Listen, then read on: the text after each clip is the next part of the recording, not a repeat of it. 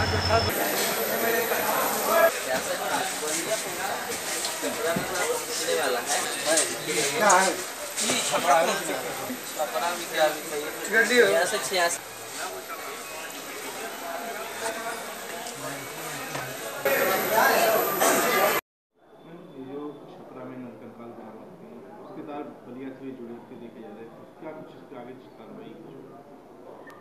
अखबारों में समाचार प्रकाशित हुआ था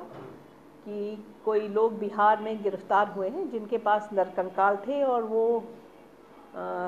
बलिया से ले जाने की बात कह रहे हैं इसमें मेरी एसपी छपरा से बात हुई थी उन्होंने कहा था कि वो समय आने पर मुझे डिटेल्स बताएंगे और संभवतः ये कार्रवाई उनके यहाँ जीआरपी द्वारा की गई है अभी तक कोई आधिकारिक रूप से सूचनाएं नहीं आई हैं लेकिन जैसे ही वो कोई फैक्ट्स हमें भेजेंगे उसके आधार पर आगे की कार्रवाई यहाँ पर कराई जाएगी